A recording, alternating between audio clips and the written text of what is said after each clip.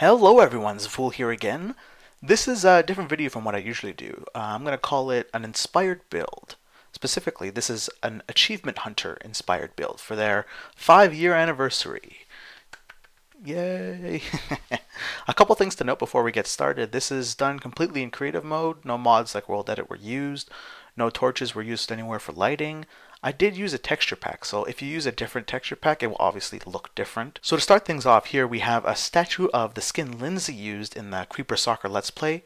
I tried to make it look like she was crouching and overlooking from a high place. Overlooking what, you may ask? Well, here we have the Grand High Court of Achievement City. Of course, we have Team Nice Dynamite in effect guarding the entrance, Gavin's creeper skin and Michael's banjo skin. Gavin also has his bone and Michael with his iron sword. Up above, we have the Royal Brown Sheep, who is put in charge of when the king is out.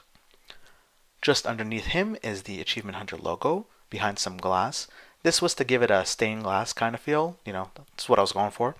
Now, this is set in the time of King Geoff. And speaking of the king, as we go inside, you see a red carpet leading up to King Geoff on his golden throne. In their King Let's Plays, there are redstone torches on fences on the side of the red carpet, where in this there are towers of pimp. Beside King Geoff, we have a mini altar of pimps on the top is the Tower of Pimps given to the victor of the Let's Play. And to the left is the Banner of the King, which we will get to in just a second. As you can see, behind the throne is pictures of everyone's faces as well as some banners. From left to right, we have Caleb's banner, Ryan's, Jack's, Geoff's, Gavin's, Ray's, Michael's, and Lindsay's. Each banner has its own theme, screen looking Caleb with the globe for his community play dates, Edgar and Edgar 3's egg, Jack's beard shirt, and his banner on fire, of course. Geoff, being the boss, gets the Achievement Hunter logo as his banner. Gavin, being the creator of the Tower of Pimps, gets it as his banner. Ray, of course, is a rose. Michael's is his iron sword, and Lindsay's, to top it all off, is the eye in the sky with a camera. Underneath, you see their faces as well as Ryan's, Ray's, and Geoff's are lit because they have been or will be kings, as well as a Tower of Pimp next to Ryan and Ray's face. Also, just as I made the giant King Geoff statue and the other three outside, I also made one for the others. Over here in the minions' quarters, we have Jack's and Caleb's team, No Chance in Hell, sleeping in some beds.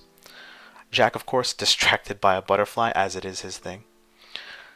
Going back up over here, we have Ryan holding some wheat and as you can see, below is Edgar in his little hole.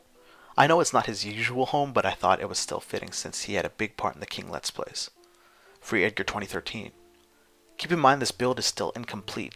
Edgar's hole still needs some work, as well as the outside is not as detailed as the inside or the front. It's still pretty flat for the walls. So going back to King Geoff, we see from his point of view, we have the Achievement Hunter logo in the middle over there. Uh, on the sides, we have his banner, the Achievement Hunter logo. Directly right and left of his throne are small outer sections that have some star-shaped windows, just like the logo and outlined in the same colors. Continuing on, we have blocks for each of them, Gavin's, Ray's, Michael's, Jack's, and Ryan's. Also, a little Easter egg just for Ray.